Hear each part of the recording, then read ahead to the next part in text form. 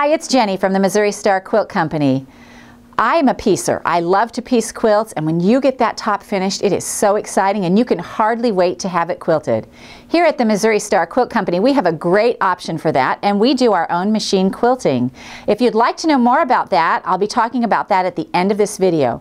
But so many of you have requested information on how to do your machine quilting yourself at home on your own sewing machine. So we've invited my daughter Hillary, who is a pretty good little machine quilter, in to show you some of the basics on how to quilt your quilt yourself on your own sewing machine.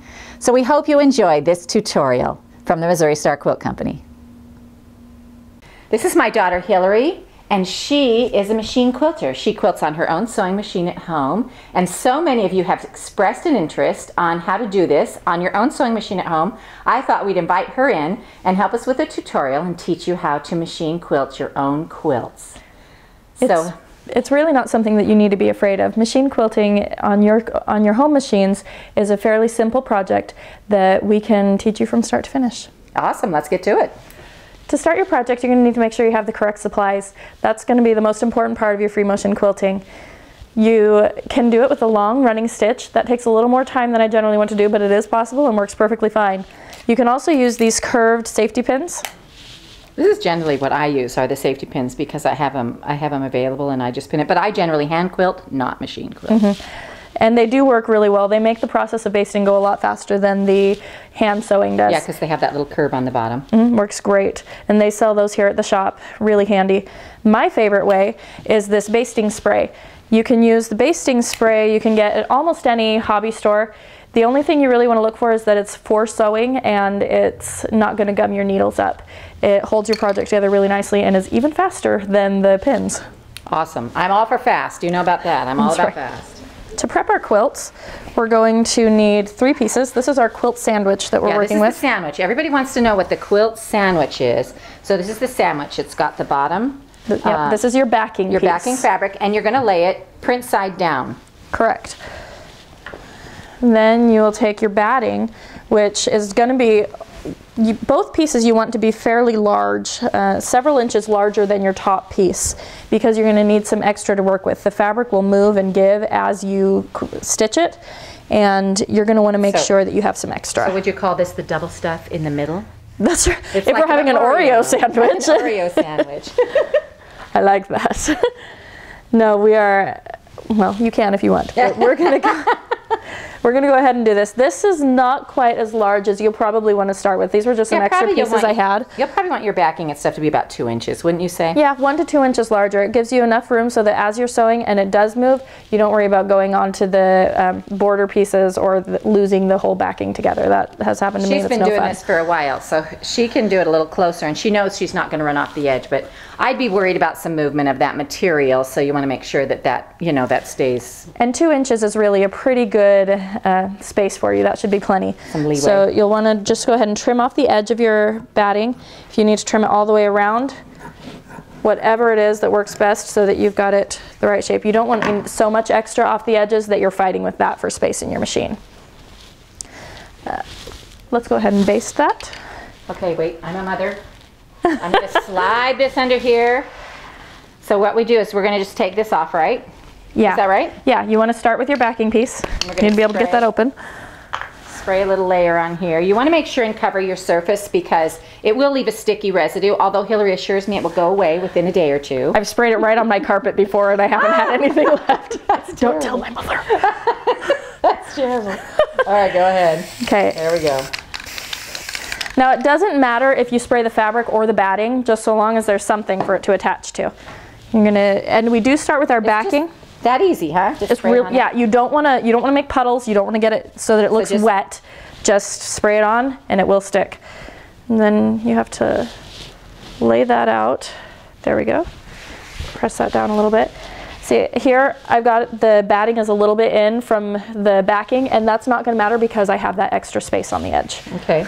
But you can see it's Do you want to make stuck. sure that it's like flat on the other side? You do. That's okay. a good thing to check because... So we got that all flat. Yeah, even if you press it really good, there could still be wrinkles. Now, before I spray this one to attach it, because even though it is repositionable, it's easier if you check your positioning before you spray it. And just do this. You can kind of see through the batting where your backing lays and that way you can just adjust as needed and it gives you an idea where it's going to go. We're still going to take it off to spray it, but at least I Well, know generally can, the placement. Maybe we can like roll it back like this. that definitely works. Let's go ahead and spray that. Okay, so we'll put that over there. And then we can like roll this section up right here. Yep. Can you feel where it's I starting can. to be sticky? I could feel where it was starting to be sticky. Okay, there we go. And that's all it is. We just basted our little quilt. That is awesome. That is quick and awesome. Okay, that's way faster than pinning. Have I sold you? You've sold me. I like the basting spray. okay, good. Okay, now Well, here's if our you are a brand new quilter, would you just take this to your machine or? Not at all. Okay. Before you start your free motion quilting, there are definitely some things you want to do to practice. There's Well, let's talk about the machine first. sure. The machine is, um, this part right in here is called the throat. And that is where, you know, if you're quilting, the bulk of your machine, of your quilt is going to go up in that throat. So the bulk of your, um, the bulk of your, your quilt is going to go up in this throat. So you want to make sure that you have room. A lot of people, um, I know they'll, they swear by starting in the middle, but Hillary generally starts on the edge and works out because her projects are small. That's right. I don't do anything larger than about a lap size quilt on my home machine. It just gets to be too much for me to fight with. Something that if you are doing a, um, excuse me, if you are doing a larger quilt and you're going to need space, what you can do is roll the edge of your project. Oh, that's a good idea. Yeah, so that you can fit that in here, Okay. generally with So the top side the up. machine then. You have a different foot on here. I do. I do. This is called your machine basting, free motion quilting, darning foot. These are all names that they can be found under, and they can be purchased for almost any machine. There are a few that don't have it, and that's just that's. I'm sorry. but this is what about what they look like. They're going to have either a plastic or metal base with some circular type toe is what they call it. This whole thing is the foot. This is the toe. It will have some of them have an open toe and those are actually really nice because you can see very clearly what you're doing. I do like the clear foot because it also gives you a better view of where the stitches have been and where you're going with your stitching. So then you just put that on your machine. Mm-hmm. To do that, you've taken off the entire foot of the other one. Generally, it's screwed on with a little spot here, and you hook it and screw it in there. And then it's ready to go ahead and do your stitching. You also, Now, what about your tension? oh, tension, let's do that one. We've got tension up here. Most of our machines are gonna be set on an auto tension. And that is not very convenient for your machine stitching. Okay. Because that the auto tensions work off of feeling how tight the fabric is underneath of the presser foot. Oh, okay. And so because you're doing the free motion quilting, it's not pushing on your fabric at all. So it doesn't oh. know how tight it needs to be and so it makes it really loose usually. Okay, so, and it's the top tension that you want to change, not the bottom tension. Exactly. I don't mess with my bobbins tension at all with that. And you turn this like way up to a high number. I do much higher than I usually would do it when doing Okay, it so, manually. like on this machine right here, she's got it on, it's like eight and a half or nine. So mm-hmm. it's like way up there in the big numbers. Yeah, Okay. and that that works pretty well for my machine. Something else that you want to do is you want to lower your feed dogs. My spot for doing Oh, that, The, the feed dogs are these pokey things right here, right? yeah, that's what pulls your fabric through so that Yeah. the sewing actually right. works. You hit your, there's a little stitch, there we go. Is that the right way? There you yes, they're down. You can check that by rolling this and it, you'll be able to see whether or not these metal bars are coming up to pull the fabric. And so they don't, um, if they don't, uh, so you want those out of there? want You those do. out. Okay. You do because you don't want your fabric to be pulled any direction other than where you're going to be pushing it. Okay, so you're going to move it with your hands then. Yes. All right. That's another thing that you can do with your hands. Let Now, my you thread through. You, well, some people will use gloves or there are pads, things that you can use. I really, I don't use those because for me, I feel like it's a, almost a loss of control. Some people swear by them, and if that's you, Yeah, I think those you're welcome things to that you have to use what you feel comfortable with. Yeah, that's a preference thing completely. And for me, it's easiest to just use my hands so that I can feel it and move it through. Awesome. And do you change how fast you're sewing ever? Um, that will come as you practice. When I started, I started it probably in the middle, but that may have still been a little too fast for me. I Some of my stitches were really tight. but as you practice it, you'll get more smooth with it and you can, you just don't, you want to make sure that your hands aren't moving faster than your machine is going. Oh, okay. Because then you can end up with really long stitches and that's not what you want. Right. So, so practice is key on this. Practice is key. Here are some pieces that I can show you I've practiced with. These are some different um, patterns and before you start your project you're going to want to decide what pattern you're going to be using. These ones I've done are some of them, this one in particular is a little more advanced but not really not that difficult and still. This, this would be like a cobblestone pattern where you're going around and making like um, like a street or a bubbles yeah. in water or something like that. Yeah, and it's really fun. It's a good filler. Uh, it's simple. None of these patterns are terribly specific. You can use them and you don't have to worry about mistakes. That's one of my favorite things about free motion quilting is that there are going to be mistakes and it won't matter. Yeah, it won't matter at all. You can see now, a lady, a lady wrote me one time and she was saying that when she does her machine quilting, she uses these little scraps of fabric like this she just cuts them out, makes little quilt sandwiches. So we did the same thing. We spray basted these on here and put them together. And then she would try different stitches and she'd she'd keep them together like on a little ring thing so that when she went to do a quilt, she would look through them and see the things that you know, the different ideas that she could um, do with her quilt. And I thought that was a great idea. Since this is all about practice makes perfect, then you want to these are things you'll want to try and make sure you're good at, right? Absolutely. Okay. It gives you a great chance to get started without working on the actual project. So this one, this little piece here, you've already You've this has been, it? Yeah, it's been basted. You can, it oh, kind of okay. pulls apart. There's the Perfect. backing, batting, top and piece. So what stitch are you going to do? We are going to learn the stipple. The stipple is the stipple. it's our easy, versatile pattern. It's a great one to start with. Um, it gives it a real antique look when you're done. Mm -hmm. It mm-hmm. kind of helps the fabric bunch up a little bit. Really simple. So we're going to go with that one to begin with. Okay, so you've got your, oh, also, again, I'm starting at the corner. Okay. So she's going to start at the corner. And um, what, uh, do you do a row? Do you do, how do you do it? I do mine a row across, probably about a six inch row. Okay. It gives me room to move the pattern so that it doesn't look too repeated. You want it to look very random. Awesome. Well, let's see what you got. Okay. We're going to go ahead. No pressure, no pressure. All right, as I start the stitching, something else that's convenient, if you have a needle down position, that's really helpful to keep your spot in your yeah because if you have to stop you don't want you don't want to have to find that needle spot again yeah otherwise you end up with moved yeah. stitching it's not not as pretty no. after I've done a couple of just a couple of rounds on my stitching, I am going to look underneath the bottom of it to check my tension. This The tension looks pretty good. You'll know right away if your tension is off. So oh, yeah? Well, how will you know? Because on the curves, it will pull. It looks like it has teeth coming oh, into the okay, curves. Okay. I always call those eyelashes. I, eyelashes work too. Teeth. Well, I have a little boy at home. I've got dragon teeth going go. most of the time. Dragon teeth everywhere. All right. So we're going to keep curving. Something I watch for in my stipple is to make sure that I stay a little ways away from my other stitches. You don't want to cross over any of the previous lines that you've sewn. You just kind of watch. You can. It doesn't have any specific pattern that you do. You can do a ribbon like this, but you don't want to do that for too long or it's going to start looking repeated. So you come back around and you go in and fill in the gaps. And I'm going to do something, it's about six inches. You can see I've only done that's between four and six inches yeah. even. So I'm gonna, that space is empty. I'll come back to that as I finish my row.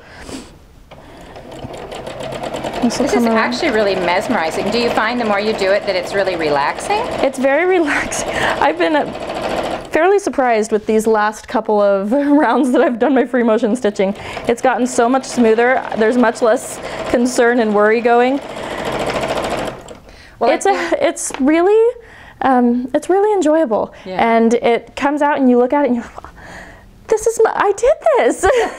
I've had people, awesome. you can you impress people with these projects and look, you can see not all of my rounds are the same width. I've got some that are wide, some that are thin. This one actually did touch one of the other rows. I am not concerned because that's it's there's when enough going all, on. Yeah, you get it all in a big quilt. It's just not going to make that much difference. Absolutely. So we just keep going. That is something we try to avoid but we don't worry ourselves over it because it's not worth it. And that basting just keeps everything together. It's awesome. Isn't it great? It moves through there without any problem. I don't have to take out any pins as I go. I have short loops, large loops. It's a really easy thing to do on your home machine. Okay, here I've come to the top edge and I actually came off of my top a little bit. That's okay.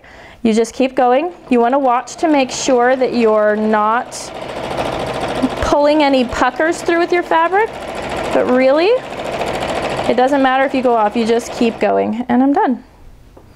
Wow. There we go, lift your needle up. Well, that's awesome. And that's our piece. That is great. So, so how long would you say you would have to practice before you get like really comfortable with enough to do your piece? I, I don't think there's any specific time. Yeah, yeah, that's different with Some everybody. people take to it real quick, and some people take a little longer. I don't think you should be discouraged with how long it takes you to yeah. get used to it, because no matter how long it takes you, you're going you need to make sure that you're happy with that final product. Okay, so are we ready to start the project then? We are ready. Awesome. I'll move these out of the way. Here's our basted project. I wanted to show you too. This is one that we basted with pins and it's really simple to do. They're about a hand's width apart, each of the pins, and we stagger them a little bit. That's just our other option for prepping your project. Yeah, so that, um, that I mean, that is a, it's a, it's a good option. It is. Know? It's and a very good option. You would, you would have to stop and go along a little ways and take your pin out, but you want to make sure that needle stays down so you don't move. So you don't lose your spot. That's okay, right. Perfect. Okay. Let's get started. Now, because I'm starting at the edge, I will just sew my rows. But if you do decide, if you have a little bit of a larger project and you decide that you want to start in the middle, you just you pick your spot, start in the middle, and just do your stippling around through here, and you basically have split your quilt into quarters, and you stipple all through your first quarter. And then you just come back up here, find your start point, match it with your needle, and do your next quarter. Oh, okay. So that's how you do it from the center of your quilt. But you like the edge. On my small projects, it's just that much easier I for have, me. I have so many children that like living on the edge. I'm just saying. no, I'm just kidding. I'm all about convenience. all about convenience and living on the edge. Losing my presser foot. There you go. Uh-huh. Okay, make sure your presser foot is down. It's a little harder to tell when you're using your free motion quilting stitch because it um, well, it's so floaty. It's so floaty. There is no pressure that's on the fabric. Floaty. That's just a, you know one of those words. It's a down word. Now this little quilt that she's made, she's she's just took a little piece of fabric and a charm pack yep. and split it up and made little borders down the side of it and it's actually going to be a changing pad. They're really cute. She does she does some really cute things and cute ideas. So the fabric you've used on this project is that Sherbet Pips by Aneela Hoey for Moda, right? Correct. And it's made a really nice little baby quilt. All the little sketchy prints, those are some of my favorites. go. Now if you want to, um, I know on my big machine in, uh, in the other room there's a uh, stitch regulator on that. So I you just kind of do this with your hands how fast you're going. Yeah, I've never actually had a stitch regulator and you can see some of my stitches are a little long and some are a little shorter. As you practice, it gets a little, it gets more even. Okay. But a stitch reg regulator is really helpful. The nice thing about the clear foot, you can see as you come up to this, I'm getting to a curve and I just pull it around and keep going. Uh, you just keep that wiggly tube for your basic stipple. Stipple is such a good, um, it's just a great uh, stitch. Whenever I do old quilts on the big machines, mm -hmm. they I always suggest a stipple because a lot of times they'll bring in these antique quilts that are just gorgeous, but they're all like hand pieced together. And so it's all these teeny little pieces that are hand pieced, and the stippling just goes around and kind of catches all the little pieces, and it just makes a really nice um, quilt pattern. Yeah, yeah, every so often you want to keep checking your tension because we know that doesn't always stay the way we like it to. But that's basically what you do. So the finished product. Mm -hmm. This is one of my changing pads that we've finished up. It, you can see the stipple is really nice on there. It's definitely not perfect, but...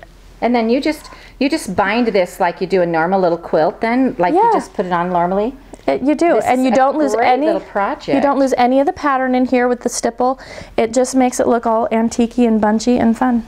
Awesome. Really easy for anyone to and be so able to do. And so then when you this little thing, you, you see she has this little this little strip here. So then you like fold this into 3rds mm-hmm, and, and roll it up. Roll it up, and you can stick it in your purse or your diaper bag. There, yep, we'll put a little piece of Velcro on there, and it'll hold it on. Perfect. Then you don't have to lay the baby on anything. That's right. You must change a lot of diapers. I sure do. I sure do. That was one of the first I projects. don't anymore. No more for me. No diapers.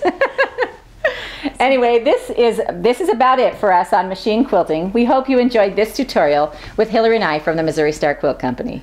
Okay, I'm back, and I hope you enjoyed that.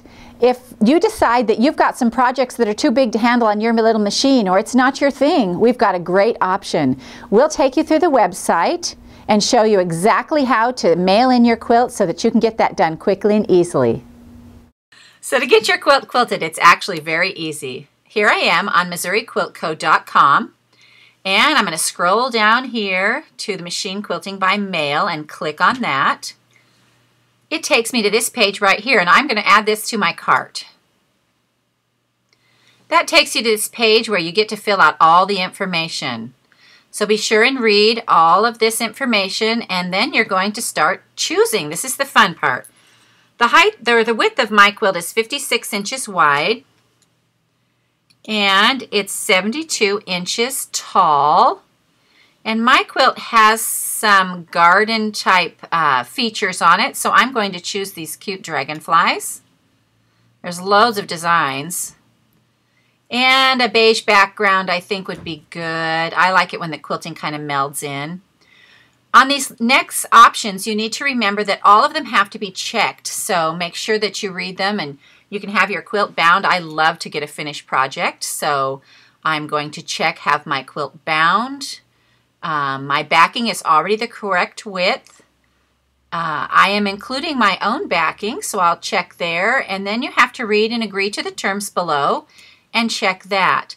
Now I'm going to put a comment in the comment because I want to make sure the thread is the right color. So I am going to put um, make sure thread blends. And so then, you know, whoever's quilting it will check it and make it sure. It gives you the amount and then you're going to go right over here to add to cart. So now we have that quilt in our cart and we just need to proceed to the checkout. Once you've gone through the checkout process, all you have to do is box that quilt up and send it to us. So now we have your quilt and we're going to be quilting it on our Gammill Statler Stitcher machine. Love this machine. It is amazing. It's completely computerized and so it can do just anything. As soon as we finish it, we will ship it right back to you.